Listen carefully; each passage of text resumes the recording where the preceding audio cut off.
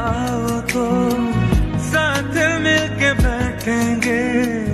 क्या से क्या हुए ये तुम्हें बताना। तेरे साथ बाना जो अहद वो निभाना है।